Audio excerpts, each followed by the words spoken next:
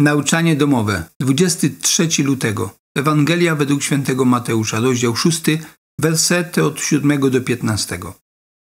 Jezus powiedział do swoich uczniów: Modląc się, nie bądźcie gadatliwi jak poganie. Oni myślą, że przez wzgląd na swe wielomówstwo będą wysłuchani. Nie bądźcie podobni do nich, albowiem wie Ojciec Wasz, czego Wam potrzeba, zanim jeszcze Go poprosicie. Wy zatem tak się módlcie. Ojcze nasz, który jesteś w niebie, niech się święci Twoje imię, niech przyjdzie Twoje królestwo, niech Twoja wola spełnia się na ziemi, tak jak w niebie. Naszego chleba powszedniego daj nam dzisiaj i przebacz nam nasze winy, jak i my przebaczamy tym, którzy przeciw nam zawinili. I nie dopuść, abyśmy ulegli pokusie, ale nas zachowaj od złego. Jeśli bowiem przebaczycie ludziom ich przewinienia i wam przebaczy Ojciec Wasz Niebieski.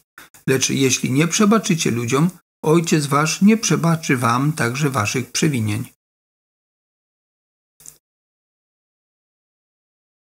Jezus zdradza uczniom sekret modlitwy.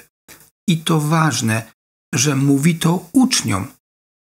Właśnie jako uczniowie możemy się tak modlić. Jako uczniowie możemy rozumieć, co mistrz mówi do nas i czego nas chce nauczyć. Nauczyć nas chce wartości słów, które wypowiadamy, a dokładnie Jezus nas chce uczyć bogactwa tej modlitwy, którą mamy zanosić do Boga.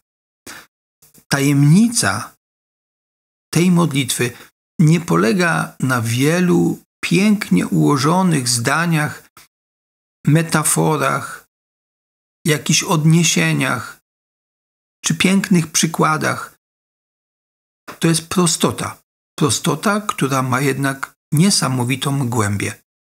Dlatego Jezus, kiedy zwraca Tobie i mnie uwagę na to, że nie ilość słów się liczy, ale ich jakość, powinien nas skłonić do tego, byśmy przyjrzeli się bliżej temu, co mówimy i jak do Boga mówimy. A zatem, kiedy Jezus uczy nas wprost słów, powinniśmy na te słowa zwracać baczniejszą uwagę, by wyciągnąć jak najwięcej treści z tego, co mówimy, by odnaleźć sens tego, co wypowiadamy. Zaczyna Jezus każdą modlitwę i chce, żeby każdy z nas też tak zaczynał od słowa Ojcze, a dokładniej mówiąc od wyrażenia Ojcze nasz. I temu właśnie wyrażeniu chciałbym, żebyśmy się przyjrzeli, idąc za radą Jezusa, że nie ilość słów, ale ich wartość i jakość powinna być kryterium naszej modlitwy. Odwołanie się do relacji rodzinnej w czasie modlitwy jest czymś, co Jezus uczynił cechą charakterystyczną. W Starym Testamencie mamy już takie odniesienia, ale nie tak śmiałe, nie tak jednoznaczne. To są zapowiedzi, że właśnie tak będzie że tak można, że tak w końcu będziemy w stanie mówić do Boga. Ale Jezus uczynił to cechą charakterystyczną swojej modlitwy, a równocześnie modlitwy swoich uczniów. I kiedy uczniowie widzieli relację Jezusa do Ojca, wtedy bardziej rozumieli, dlaczego tak właśnie Jezus zwraca się do Boga. Abba. Wiemy, że to e, taki wyraz, który oznacza czuły szacunek. Po polsku moglibyśmy to odnieść tato. Może tatuś to już jest za bardzo pieszczotliwe, ale ten czuły charakter, ciepło, a równocześnie pewność w tej relacji są tutaj zawarte. Kiedy więc zwracamy się do Boga, chodzi o to, żebyśmy rozumieli, że jesteśmy dziećmi, które przychodzą do swojego taty ze wszystkim, co w nas jest, ze wszystkim, co przeżywamy, czego pragniemy, czego się spodziewamy, ale to On jest tutaj tą kluczową osobą, nie my. To nie właśnie nasze potrzeby, pragnienia, marzenia czy sprawy, ale On jest tym, który wyznacza to spotkanie, ten rodzaj odniesienia, tę formę, w której mamy przeżyć czas przy nim i z nim.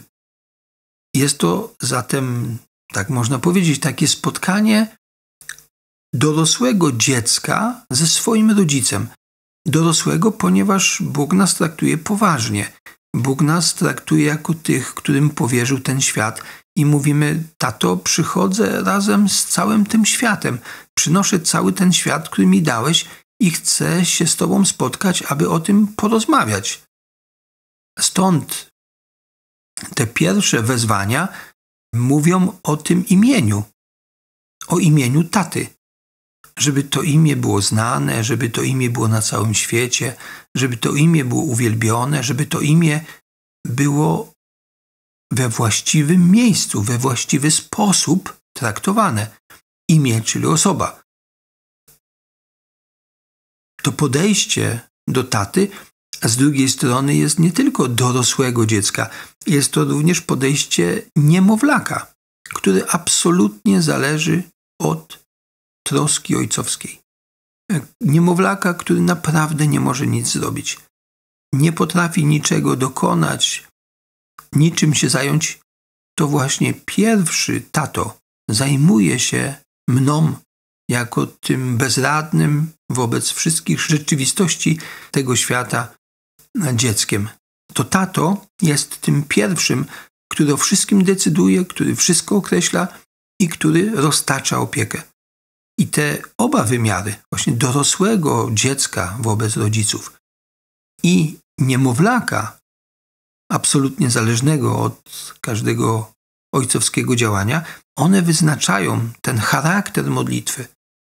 To z jaką pieczołowitością, czułością, wrażliwością, świadomością mamy wypowiadać to właśnie Boże imię. I drugi element to jest Ojcze Nasz. To nie jest tylko mój tato, to jest nasz tato. Tato wspólnoty, bo jeżeli nasz, to znaczy naszej rodziny. I tak Jezus pokazuje uczniom tę relację w modlitwie. Ja nie jestem elektronem. Ja jestem cząstką rodziny.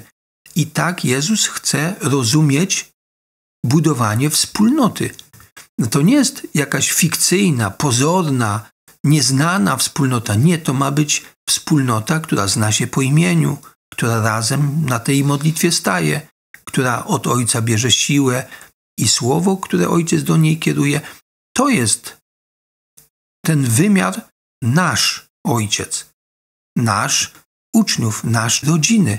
I dlatego rozumiem, że nie mogę udawać, że tworzę rodziny, nie mogę udawać, że tworzę wspólnotę, nie mogę udawać, że to jest jakaś taka nieokreślona grupa, która po prostu nagle przyszła i zaczyna coś recytować. To ma być rodzina. Takie mają być więzy we wspólnocie.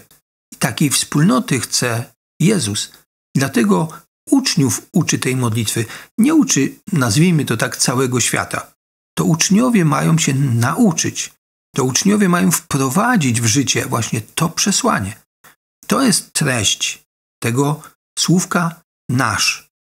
Ojciec nasz, oczywistość tego, że z nim rozmawiamy.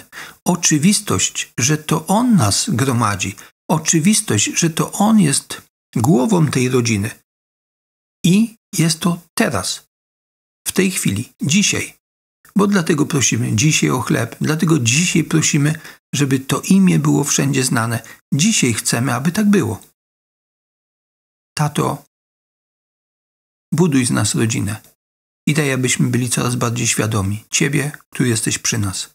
Amen. Niech Ci w tym błogosławi Wszechmogący Bóg, Ojciec, Syn i Duch Święty.